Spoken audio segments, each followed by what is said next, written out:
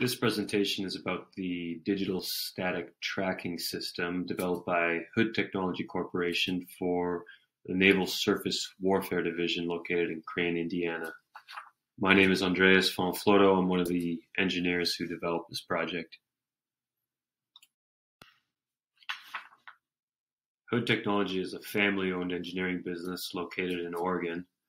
We specialize in controls, and some of our products include stabilized UAS imaging payloads, active UAS launch and recovery equipment, vibration measurement and attenuation equipment, and we do host R&D facilities for prototype development.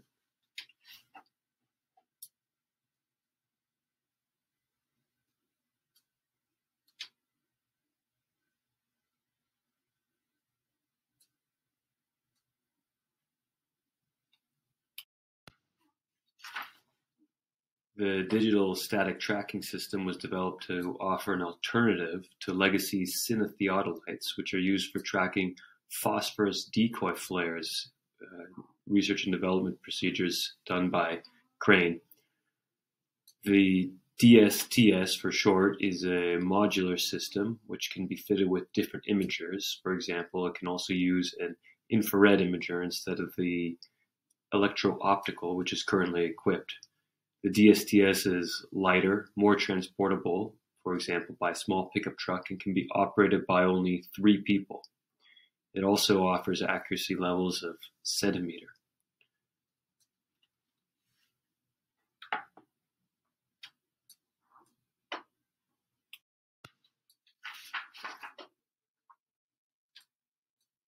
This slide shows some examples of the legacy cinetheodolites, which are big impressive machines, but they are not ideal for rapid field deployment or use by small groups.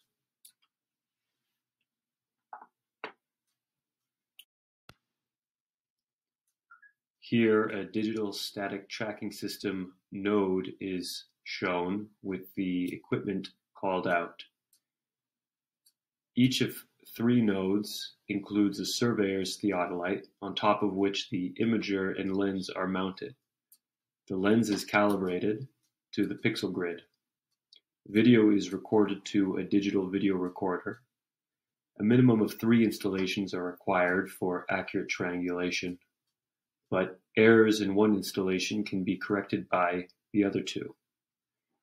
Images are synchronized using the GPS pulse per second.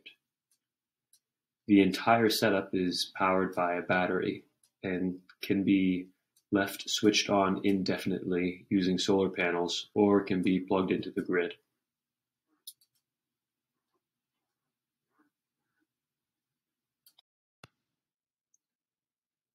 This project has been running for approximately one and a half years working to create a prototype of the digital static tracking system. The equipment has been demonstrated on three separate field deployments and has been handed off to the end users in Indiana. Future iterations and development are under discussion and funding is being sought.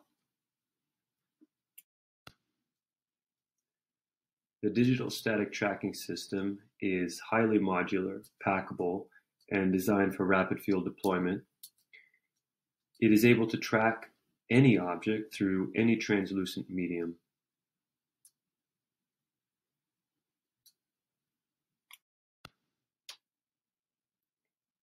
Training of the crew how to use the digital static tracking system has been completed and the equipment has been handed off. The graph on this slide shows data collected during one of the training sessions during which an A-10 Warthog flew by and dropped some phosphorus decoy flares. The flight trajectory of the fighter jet is shown in blue and the trajectory of the falling decoy flare recorded by the digital tra static tracking system is shown in red. Auto detection and trajectory mapping algorithms were used.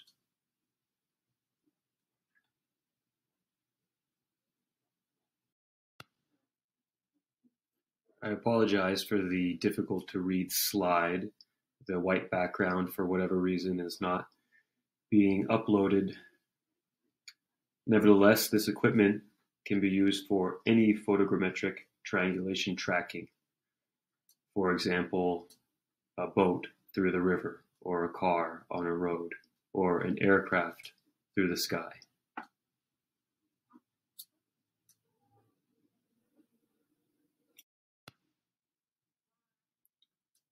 Funding for phase two of this project is being organized based on a list of new desired features. The wish list includes features which will make the equipment more rugged, more user-friendly, and able to track other flares and collect other information such as irradiance.